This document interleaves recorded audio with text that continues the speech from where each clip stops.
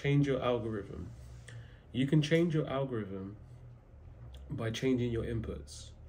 When you go onto YouTube, when you go onto Instagram or any app, uh, even like Netflix and all that stuff, you you keep consuming and you keep getting recommended stuff based on your interests and based on your inputs.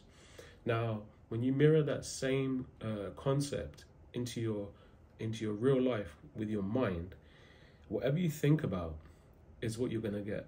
Now, if you say I'm not the that you're not good at maths, and you keep affirming that belief, and you you're gonna keep um, only believing that you're not good at maths. So anything that your mind um, believes is what it will achieve. So if you believe that something is not going to work out for you or you believe something will work out for you, it doesn't matter because your mind will just accept whatever you allow it to believe in. So um, yeah, like I feel that um, social media is like a is a perfect analogy of your mind because whatever you put into social media, yeah, it will recommend to you and give you back out. Like you put um, you type in um, funny video about cat, you're gonna get loads of cats. You're gonna get loads of animal videos. You're gonna get all these funny different things, um, and your mind is so so much like that. We have an algorithm that we run every day, uh, based on our previous beliefs. But who is telling you that you can't just start believing from now what you want to believe?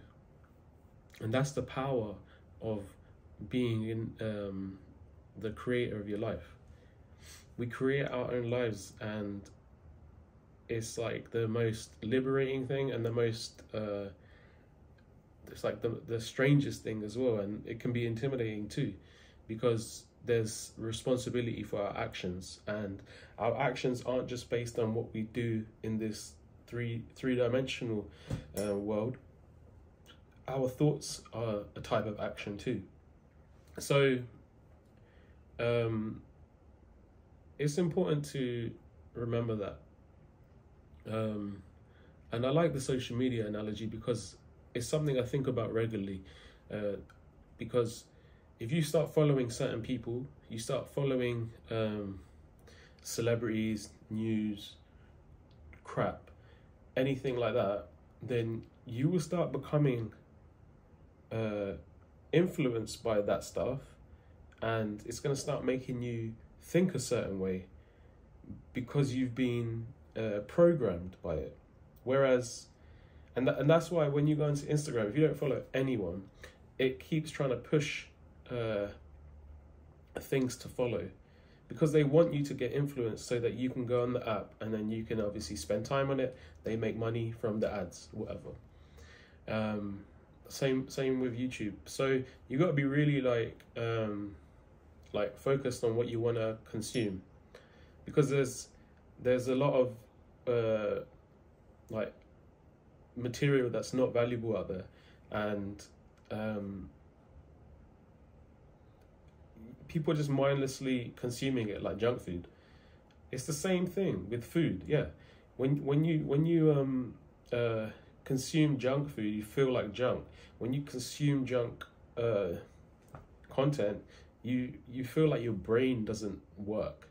So um yeah like it just shows you that how powerful you are and how powerful your your thoughts are because from your thoughts you create feelings and from your feelings you're going to create actions. You're going to start taking action based on how you feel and your thoughts is what makes you feel a certain way if you feel a certain way about any kind of thing, any kind of subject, any kind of belief, uh, you're going to take actions based on that. You know, if someone if someone grew up being told they can't do something, it it seeps into their adult life, and then they they start uh, consuming things that are going to give them uh, short term pleasures and short term uh, dopamine hits and stuff like that, and it gets deeper and deeper, and then people feel that they have to go and um,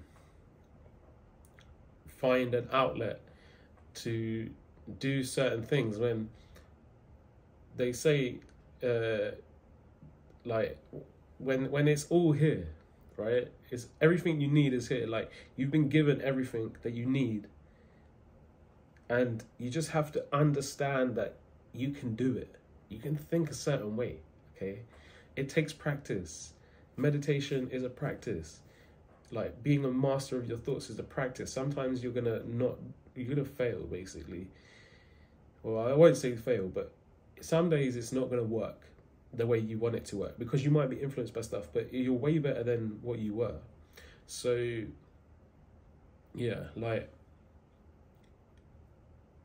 changing your algorithm is a very powerful thing.